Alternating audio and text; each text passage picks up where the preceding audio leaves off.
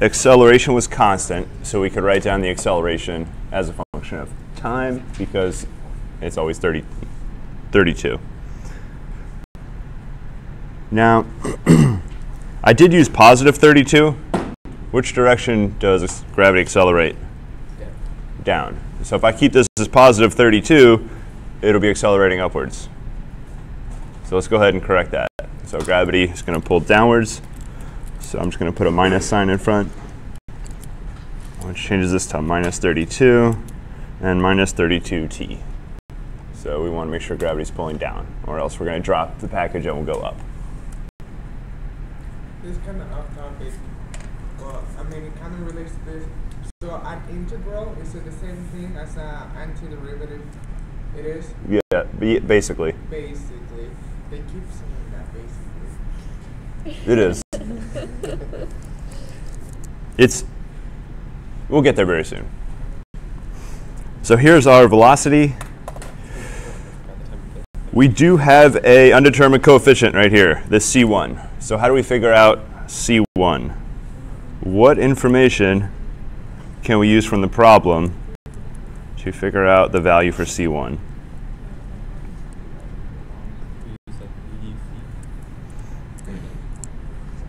So another name for v of t velocity is the derivative of the height function, so h prime of t, that's the function we're looking at. I do know a certain value for, of the velocity. So what is that 12 feet per second? If you look in the original problem, the hot air balloon is ascending at a rate of 12 feet per second. So that means right when the package is dropped, it has the velocity from the hot air balloon. So gravity will start pulling on it, will start accelerating it downward, but right at the moment that it's dropped, it's moving the exact same velocity as the balloon. So we know at time zero, the velocity will be that 12 feet per second before gravity changes the velocity. So down here, this is the velocity at time t, so velocity at time zero is 12.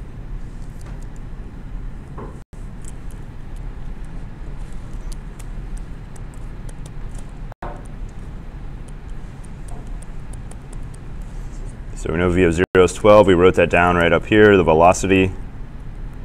I wrote as h prime is 0, but h prime is just the velocity function. So I have velocity at 0 is 12. I also know the velocity in general, so I'm just going to plug in 0 for t. So v of 0 is negative 32 times 0 plus c1 equals 12.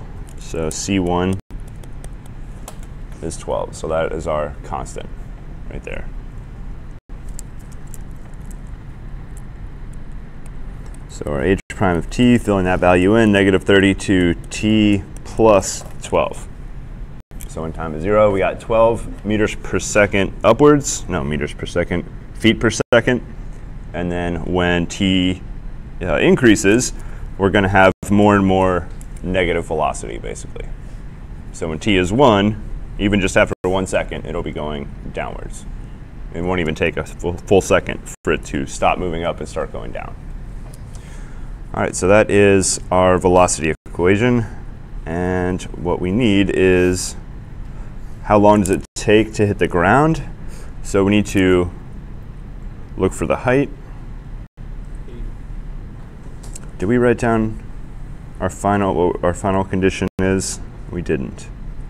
All right, let's talk about answering this question now. How long does it take for the package to hit the ground? How do we know the package hits the ground?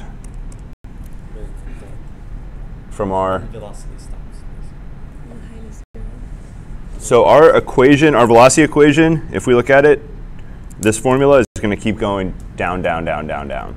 So the velocity is only, or the velocity will equal zero. It looks like when t uh, is something like uh, close to a half or a third. So that'll be right after we drop it. It'll be going upwards for a very short time, then it's going to fall. So there will be a point where the velocity is zero. That would give us the maximum height. But I don't want the maximum height.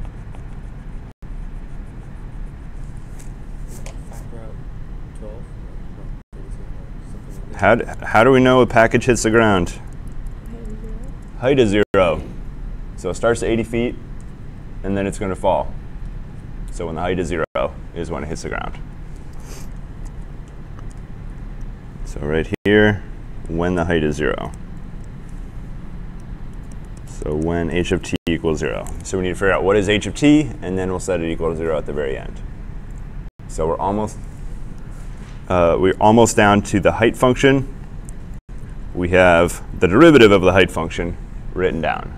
So all we have to do is take the derivative away, or anti-differentiate. So let's do guess and check. So take your best guess at the antiderivative. It's just polynomial antiderivatives. So you should be able to figure this out.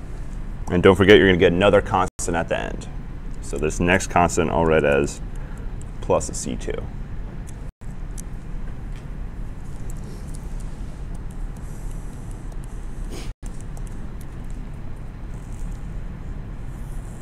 What's the antiderivative of negative 32t? Negative 16 t. Yep, negative 16t squared, so we'll try that. And check with the derivative. So derivative negative 16t squared is negative 32t, and derivative 12t is 12. So that's our antiderivative because the derivative is what we started with. Why couldn't it be like t to the negative 32 power? Or the square root of that. Okay, so let's try let's try something different. So t to the negative 32 or regular. So what's what would be the derivative of this? Negative 32. So you got the right coefficient. 33. 34. What is the Got you, thing? got you. Yeah. So almost good, except our our exponent is very different. So you'd be you'd have a very different function.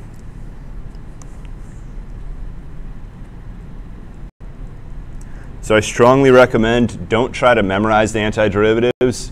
Just use your intuition, take a guess, and check. Remember all the derivatives, don't remember the antiderivatives. Just use your intuition. So then where you got the, where do you get the extra uh. This one?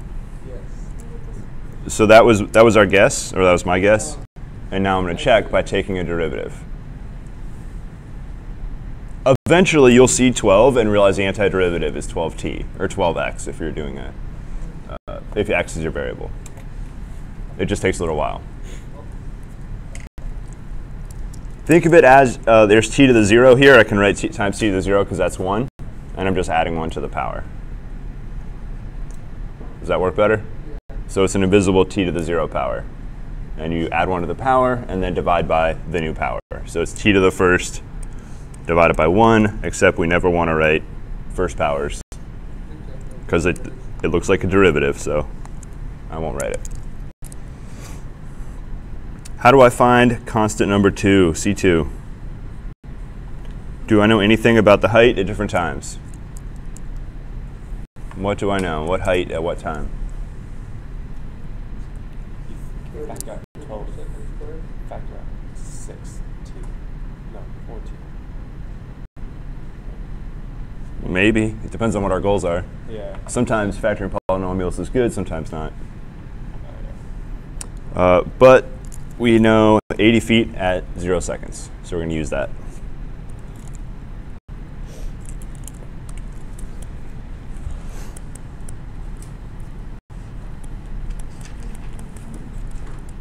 All right, so plug in 0 for t, 80 for h of 0, and figure out what constant number 2 is, and then solve the entire problem. So answer that question that was asked. What time does it hit the ground? And it's not 0, because at 0 it's 80 feet off the ground. So we plug in 80 for the t or the 0 for the t? So t is time. Yeah. So are we at 0 seconds or 80 seconds? 0 seconds.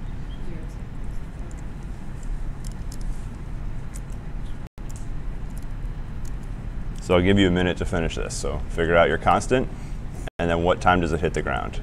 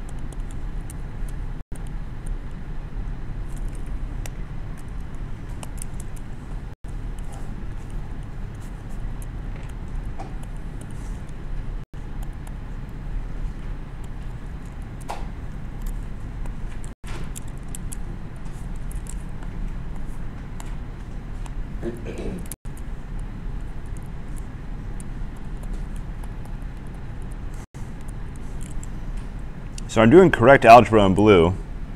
However, does that factor and get me closer to solving for t? No. So it depends on what your goal is. Sometimes you want to factor out like this, sometimes not. So here we actually have a quadratic. So there's, you can make an infinite number of algebra moves and not get closer to the answer. Well, not answer, not get closer to solving for t in this case. So what's a better algebra move to make?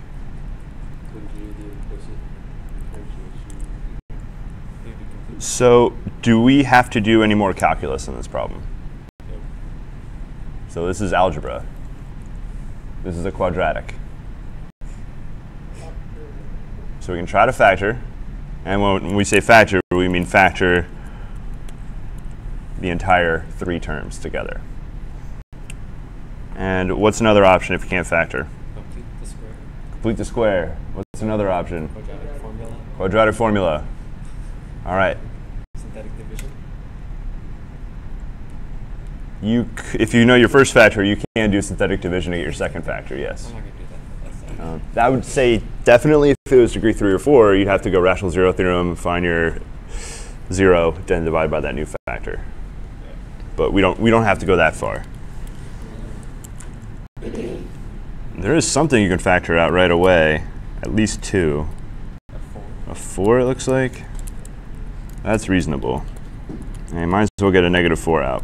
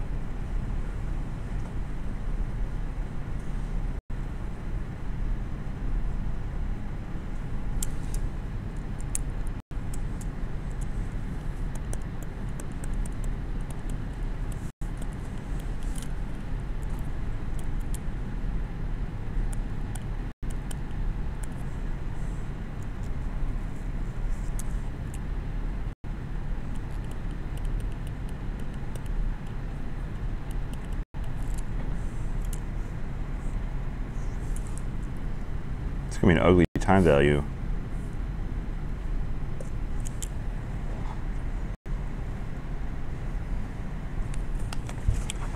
Thought this one worked out better.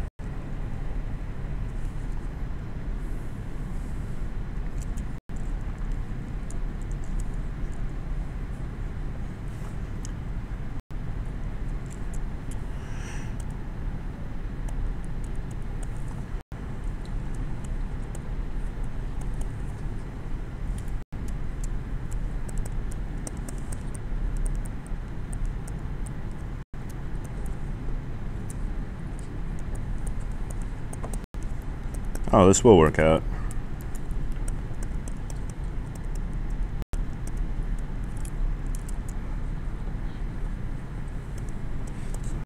What is square root of 329?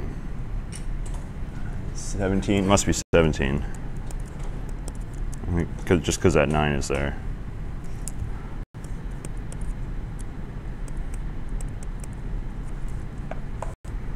So, seven, ooh, what did I forget? What's that? Really? Oh no.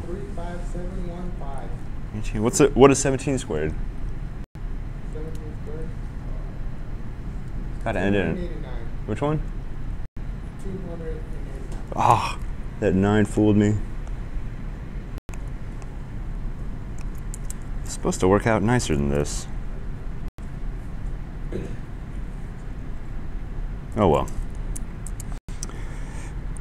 So we got plus or minus square root 329 over 16, and we add 3 fourths.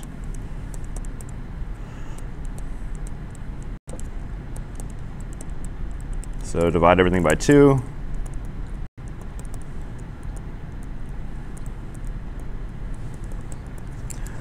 All right, those are ugly values. Maybe I made an algebra mistake. It's very likely. Why are there two t values? What does the graph of this h of t function look like at the top of the screen? So complete the square. Wait, What does a graph of the h function look like?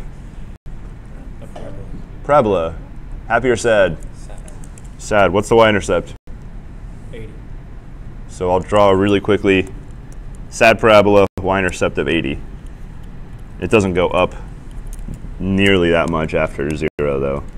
Going to look a lot more like that right there. So we'll have two x-intercepts. Or I should say two. This is the t-axis for time. It'll have two t-intercepts. And that's the h-axis. So it's going to go up a tiny bit and then fall down. So I want the bigger of the two t values. The smaller one would be the value I'd get over there.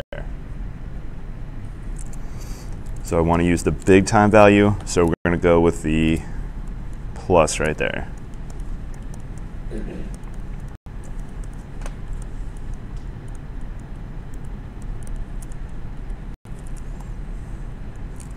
So that is our time when it hits the ground.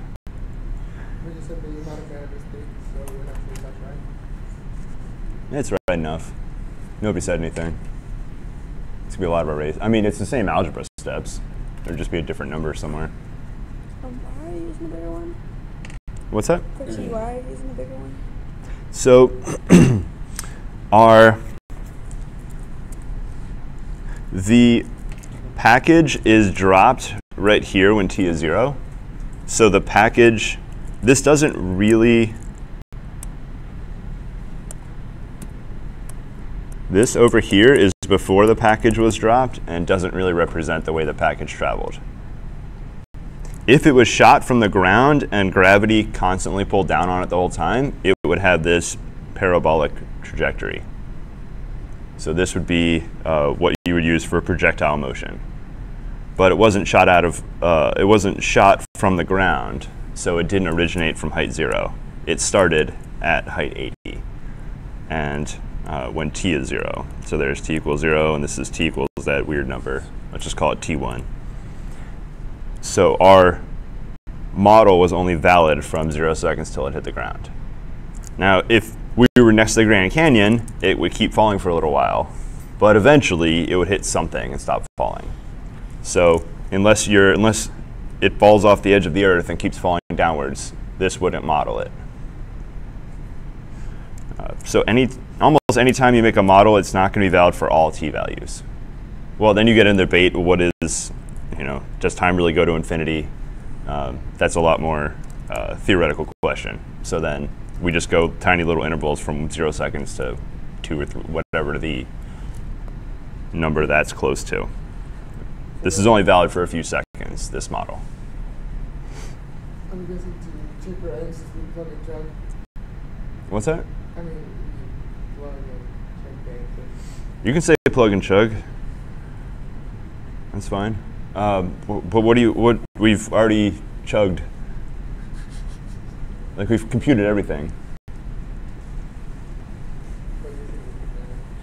Do you want to turn that into a decimal? That's a different story. But you're just going to turn that into a different uh, an approximation using a decimal.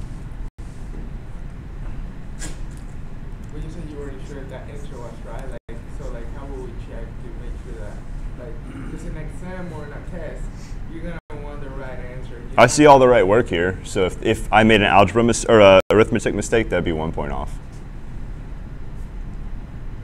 You're right, actually. I got it from this Well, this is right. Huh? We get lucky sometimes.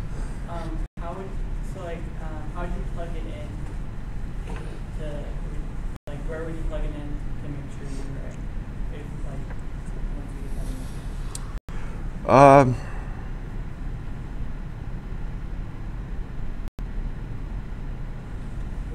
So we can see if this is consistent with every single um, initial value that we had.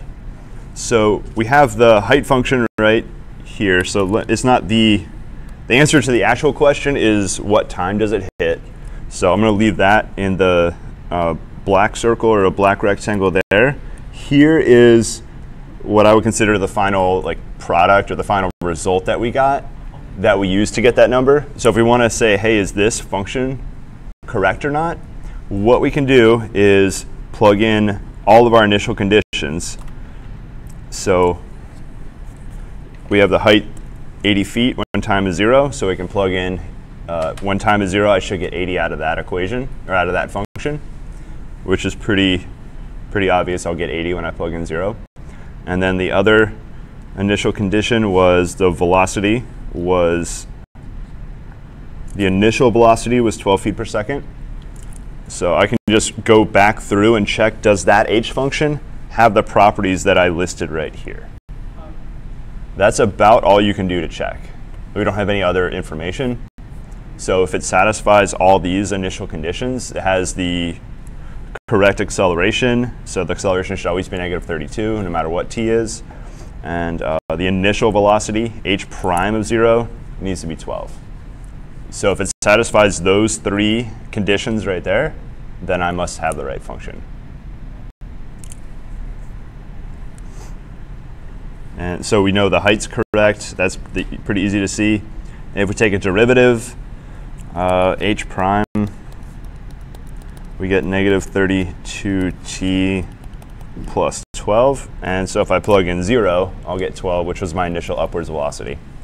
And if I take another derivative, I'll get negative 32, which is my constant downwards acceleration. So that's, I think, the only way to really check this without knowing the answer and seeing if your answer matches. But you can go back through and see, does my final result, my final function, actually have the properties that my problem listed? So if it has all the properties, it must be the right function. Does that answer your question?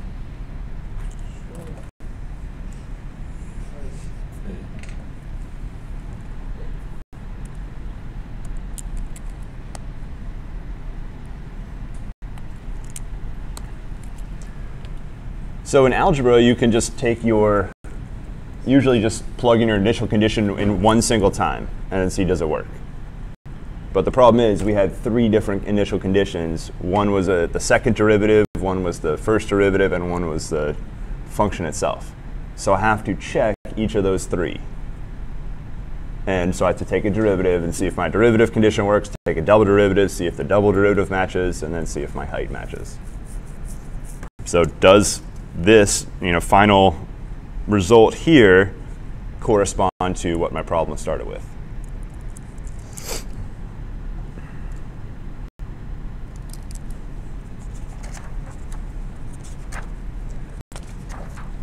And now we're going to jump into chapter 5. There are plenty of other practice problems you need to do for antiderivatives, and the only way to get better at them is just practice. So I'm going to put an antiderivative on your uh, midterm on Friday. An antiderivative from, from this section. Uh, I won't do a word problem now. It'll be more like the other ones that we did. And because the antiderivative problems I have to give you need to be short, I might have multi-parts, like part A, part B, part C. There'll be something more like something more like these here. That section. I think they won't be super, super easy, so maybe more like the last two. Something more like that. I'll definitely be sure to put some trig antiderivative in there. So you need to know your six trig functions. And if you can't remember six trig functions, just remember sine and cosine, and hopefully you can do the quotient rule for the other three. That's how we got them originally. You'll spend about two or three minutes, and then you probably need to simplify it. But if you don't remember it and you have extra time, you can always figure those out.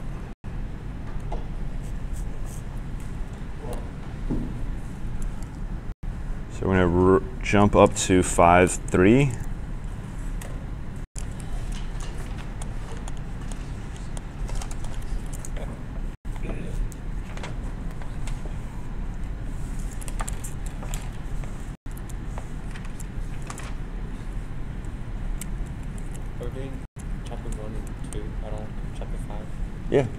eventually. Okay.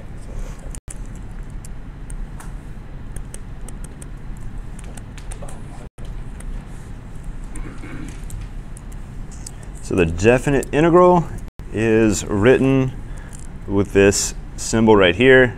I just call it the integral symbol. It looks sort of like a stretched out S. And there's going to be two numbers, one on the bottom, one on the top. And there's a function inside and a dx.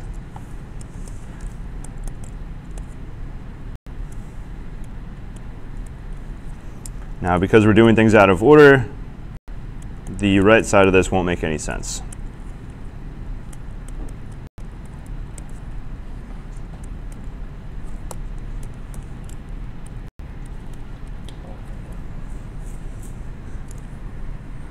Actually, I can use delta xn, the way we'll compute it. All right, so the right side shouldn't make any sense right now, but what I can write here instead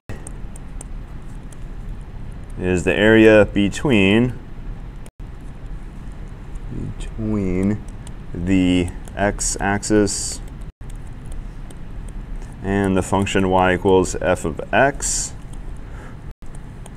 for x in the interval a to b. So for us, the definite integral will be the area between the x-axis and the function y equals f of x. And this is, doesn't go from for the entire x-axis. It just goes from some number a to some other number b.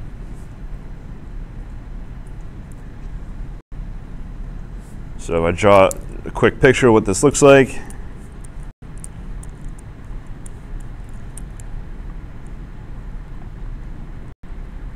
If your function looks like this right here,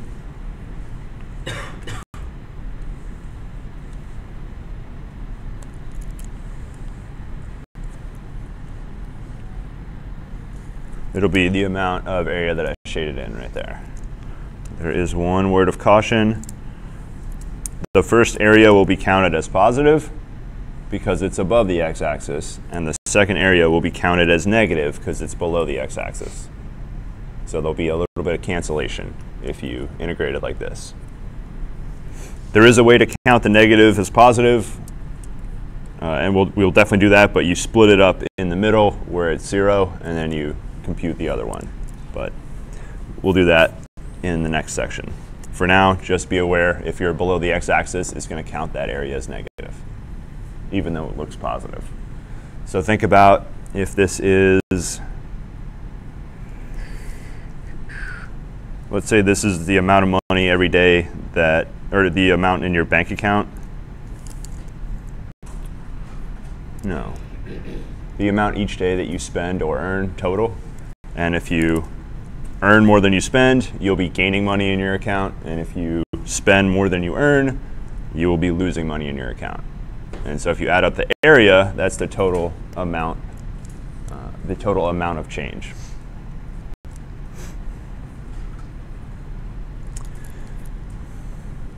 So not all functions are integrable.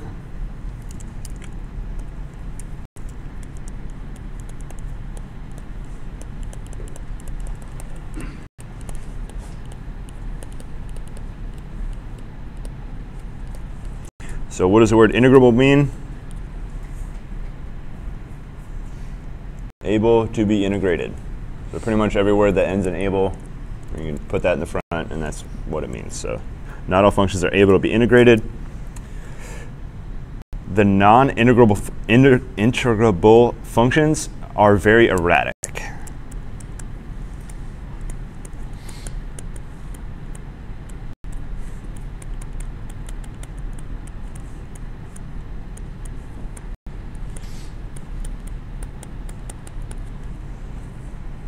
Now, when I say very erratic, the ones I've seen are incredibly not continuous, meaning that they jump around so much there's not even an interval or not a significant interval where they're going to be continuous. Um, I don't even want to define one right now because they're really ugly. Uh, but basically, they're just a bunch of points that move around a lot. And they're not connected in a continuous matter or a continuous manner. So we are not going to look at non-integrable functions in this class.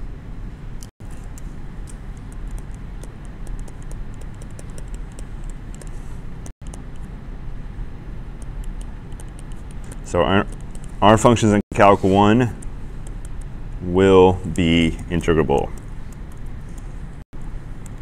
Can't even spell the word. All right.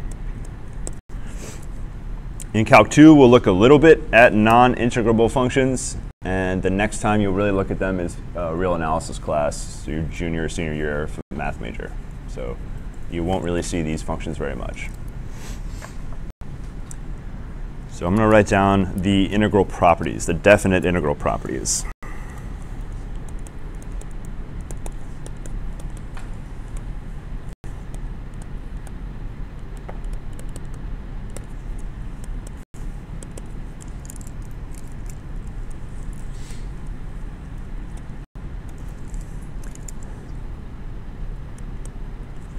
So I'm going to be a little bit lazy because we need to write down this again and again for these properties. So the important parts are not really the x dx part. It's really the um, integral f from a to b. So the way I'm going to write these is I'm going to leave out the of x dx part. It'll just make writing a lot easier. so I'm not going to write the of x dx part.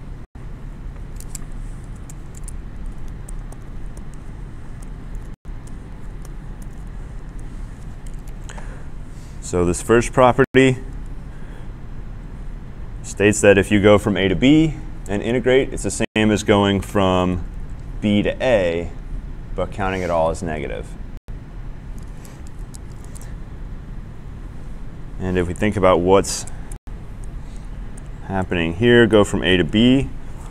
So if your function looked like this before, it was all this positive area. If you go the opposite direction, it's going to be counted as negative area, basically. So it depends on which way you travel down the x-axis. So if you travel the wrong way, above the axis counts as negative.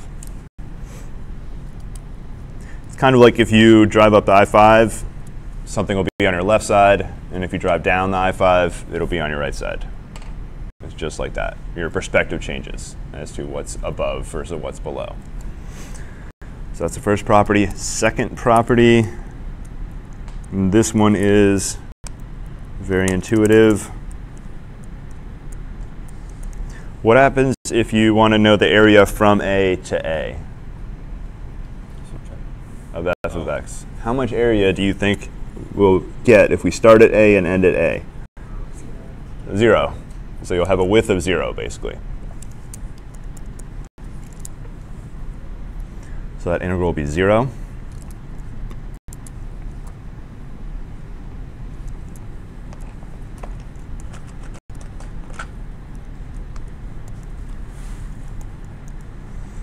So what about a constant multiple? So if this was our function right here, y equals f of x, what would happen if I used 2 times f of x? How would the area change? So at any x value in here, our y value would be twice as high. What would happen to the area? It would double. Same thing it was three times as high, triple.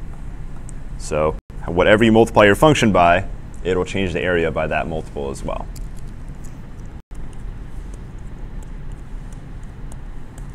So that's the constant multiple rule for antiderivatives.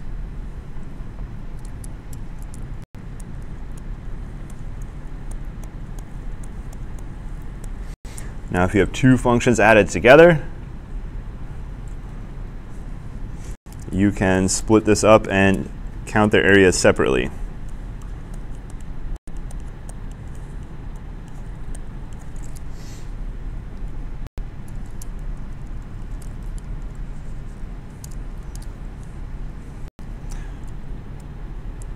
So if you're wondering how do these work, just think of, remember derivative is the opposite of an antiderivative. So what is the derivative of f plus g? And I'll just use prime notation. f plus g derivative, what can I do without knowing anything about f and g? F prime plus G prime. f prime plus g prime. So that means if you have two functions added together and you want to know their antiderivative, you can anti-differentiate each function separately. And that will be the antiderivative. So that, oh, I should have written that down below. That's correspond to the second one.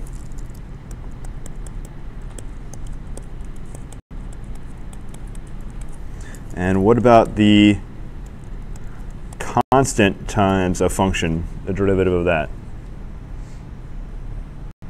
Zero? Almost. If I, if I just had derivative of a constant, it would be zero. What about constant times a function?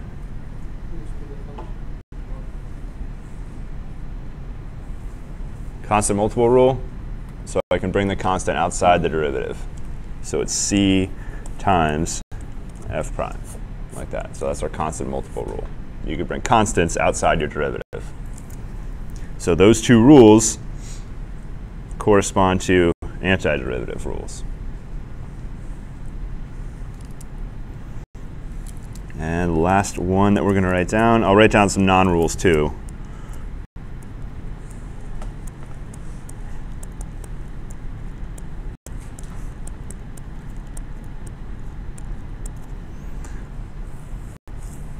What in the world happened on the last one?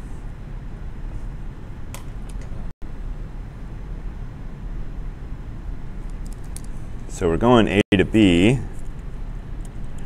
We got some function right here, we can get the area, and then we just take some value C. So the left side represents that total area as one piece, and the right side, those two integrals, are get the area of one and the area of the other, add them together, and you should have the same area. So this is one we should write down, or is this one of the ones you said is not? Oh, yeah, this is an important one you need to write down.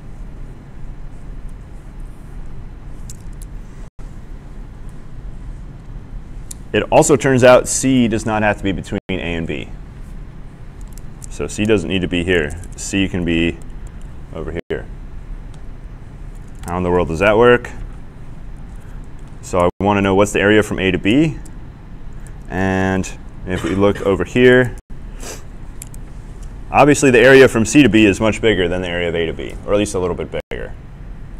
What is this area right here from A to C? That means from A to C, but you're going the wrong way. So it's going to count all that as negative. So we'll cancel out counting it going across this way. So we'll end up canceling. So C does not need to be between A and B. C can be on either side, either smaller than A or bigger than B.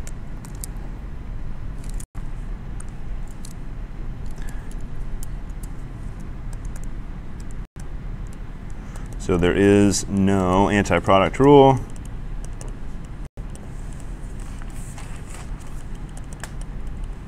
There sort of is, but it doesn't work the way you think. So, and there is no anti-product rule. So if you get an integral of f times g, you really don't know anything to do with it.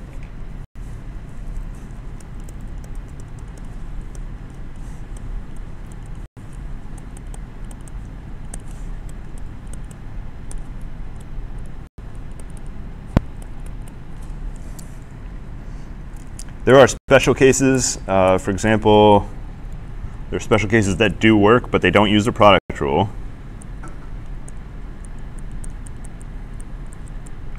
So here's two functions multiplied together. What is their antiderivative?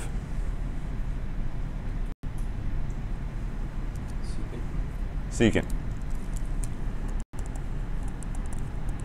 Not because of the product rule, though because you knew the, well, one of you knew the derivative of secant is secant tangent.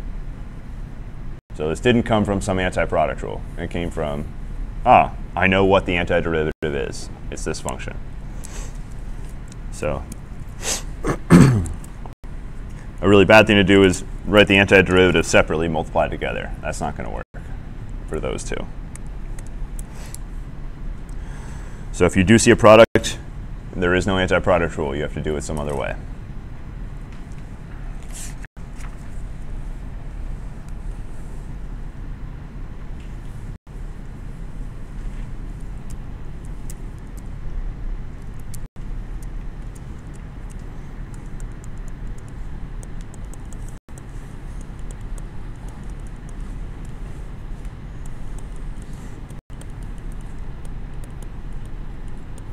If you know the function f is less than or equal to the function g for all x's in this interval, what could I say about the areas?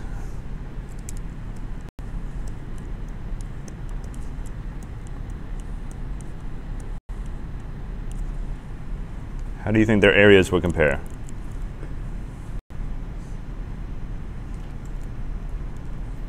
You can be brave.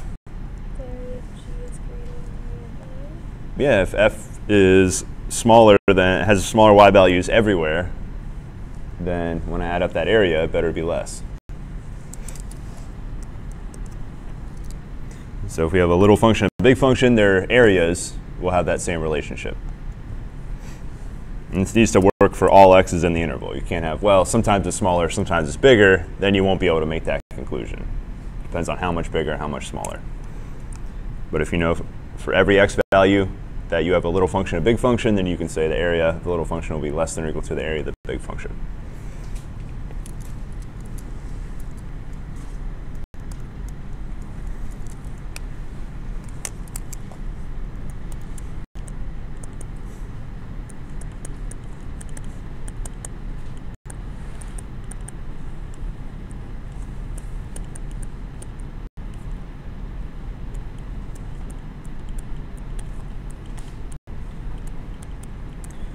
So we're going to let minimum be the minimum y value on an interval a to b, and similarly the max will be the maximum y value.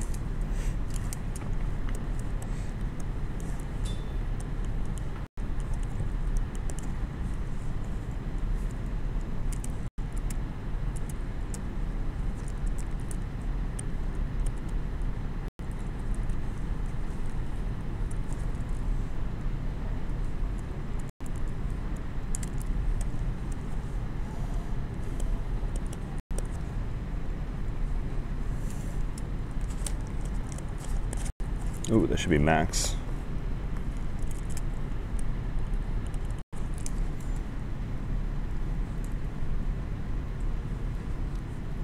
And I don't think we want b minus a, we want that in parentheses.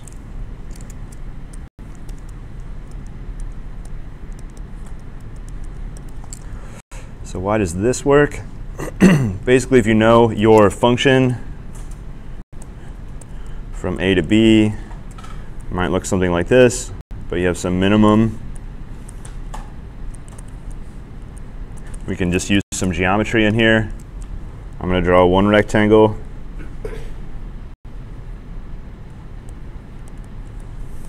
I'm going to call this the minimum area.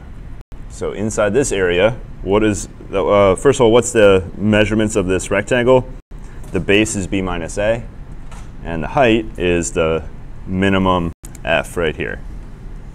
So we got a width and a height. So what's the area? You multiply those two measurements together. Now how does this blue area compare to the actual area under the function? So if I shade in that function area, it's going to be all this stuff right here. So we can see the minimum area is less than the actual area right there. We can do the same thing with the max area. And let's go. Oh, wow. What? Oh, good day for us. The glitter pen. All right. So that's the max area right there. And that's definitely bigger than. What's so funny? You don't like glitter pens? I like it. Oh, at least I'm not the only one that likes it. Beautiful. All right, so that's the max area right there. And that's the right side area right there. So you got a minimum, maximum. That gives you an estimate. It's not exact, obviously, um, unless the minimum, maximum are super close. And then it gives you a really good estimate. But generally, uh, it'll just give you a way to say, ah, it's maybe greater than zero or something like that, or less than 4,000. So it gives you some way to make estimates. So we'll do a lot more examples tomorrow.